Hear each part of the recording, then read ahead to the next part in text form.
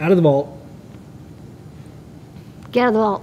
we have, uh, I'm just going to play the videos back to back. We have the Feather Bluefruit things that we're working on, the FFT thing we're working on, and then a web serial thing we're working on. So I'm going to play them and I'll see you on the other side in a moment. Okay, Lady, what is this? Hey, this is a waterfall spectrogram that we're showing off on a clue board. This is using the built-in microphone and the new Microlab uh, code library that we've added for CircuitPython. So you can do FFTs on the fly and you can actually see our voice spectrogram. And then if I grab this tootin' flutin',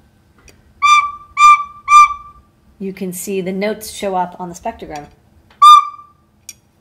Tootin' footin'. So this is fun with FFTs. Um, this is all kind of beta alpha, but we're excited to have a NumPy-like replacement for CircuitPython coming soon. Okay, Lady, Ada, what is this? This is me testing out the new Feather NRF52840 sensor board with all these integrated sensors, motion, uh, microphone, magnetometer, uh, barometric pressure, humidity, etc. And uh, last week we did a bunch of guides on calibrating magnetometers, and the reason we did that is because I wanted to show how you could turn the built-in 9DOF sensor into an orientation sensor. So here I'm using uh, Paul Stoffregen's orientation visualizer to show how when I move this board, the uh, data sent over and then rendered just the same.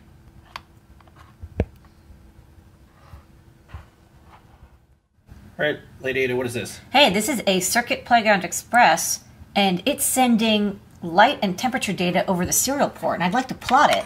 And normally I'd use the Arduino IDE plotter or the Mu plotter, but now I'm going to be using a web serial plotter that we wrote, and it's up on Glitch. Still under uh, development, so it's kind of exciting. But we can connect if you're on Chrome, select the COM port or the serial port that matches, and now it's plotting data from the light and temperature sensor. It's also got the accelerometer sensor. We're going to work on that next.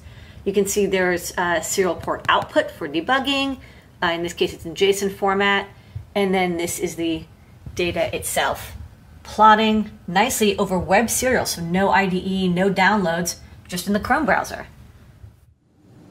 Here's that cool, um, LED plastic. yeah, LED plastic that Phil was showing off. So I want to show this video.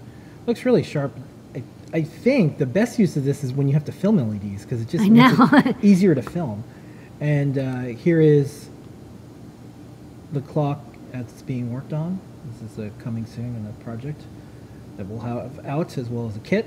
And then uh, this is something that Lady Ada and I are working on. This is the classic egg drop project that kids have, but uh, you'll be able to drop your clue with a little parachute or whatever protection, the clue that you decide to armor the thing up with.